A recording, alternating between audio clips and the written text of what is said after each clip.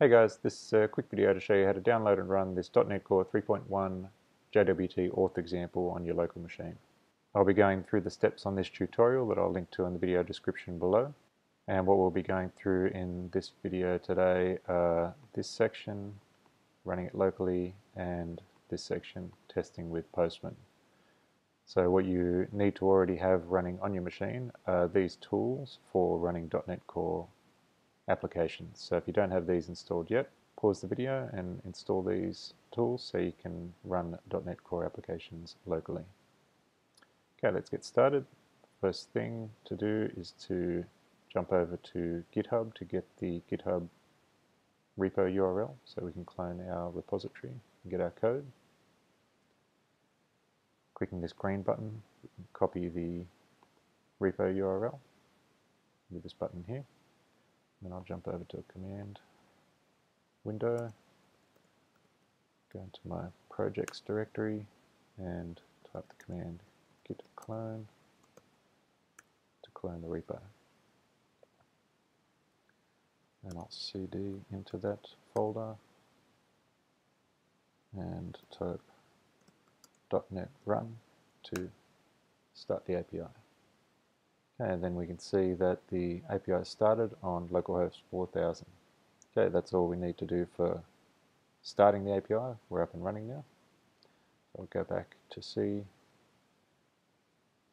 how we can test it using Postman. So if you don't have Postman installed yet, you can go to this URL to install the Postman tool. It's a uh, good tool for testing APIs. So I'll jump over to Postman now. This is what it looks like. And I'll just jump back to the browser to see our instructions. So we want to we want to test how to authenticate a user. Our our API has a test user hard coded in it with the username and password test and test. So we want to open a new request tab. Clicking the plus button here. Changing it to a post request. Entering in the URL to the authenticate path of our API. We want to change the body or set the body to JSON type and then enter the username and password.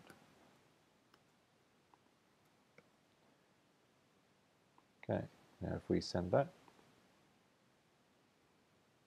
okay, we can see that that was successful and it's returned our user details, first name, last name, username, and our JWT auth token.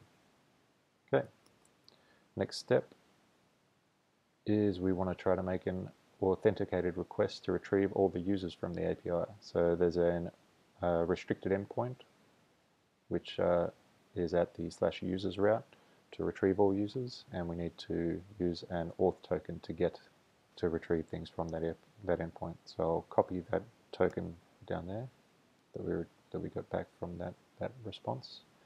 Open a new tab and enter the path to the user's route. Leave it as a GET request and I'll just show you that if we try to hit that without any auth token we can see that there's a 401 unauthorized response.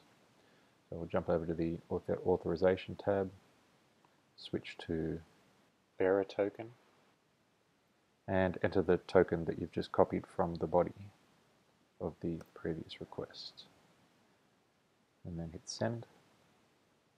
Okay, great. We've got a 200 response and you can see the user details there.